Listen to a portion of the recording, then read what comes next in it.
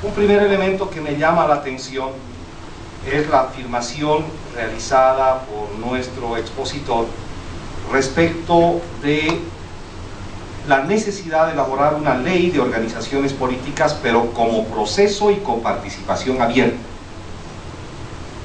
Esa no solamente es una sugerencia, sino que es algo que está en la propia constitución política del Estado y que además, por si algunos legisladores no les informaron a sus pares, tiene mecanismos específicos de regulación legislativa. Por ejemplo, los mecanismos de eh, formular encuentros territoriales, foros ciudadanos, además de las audiencias públicas, para garantizar que este tipo de proyectos de ley eh, tenga una garantía de participación.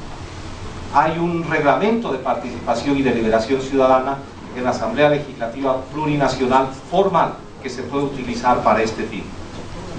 El otro elemento que me parece fundamental es vincular la necesidad de un proyecto de ley de organizaciones políticas con una reforma integral. Porque hay asuntos que, Fernando lo decía, tienen que ver, por ejemplo, con el funcionamiento de la Asamblea eh, Legislativa, que no puede estar al margen de la discusión de ley de organizaciones políticas, por una sencilla razón, porque ambas se vinculan con las distintas propuestas para repensar la representación.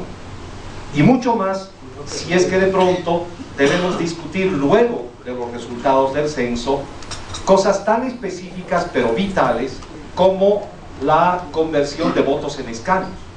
Después del censo vamos a obligarnos a discutir nuevamente la ley del régimen electoral. Entonces, a esas sugerencias, más lo que existe en términos institucionales, habría que sumar el insumo de, eh, de este tipo de discusiones respecto de una forma integral de repensar la representación.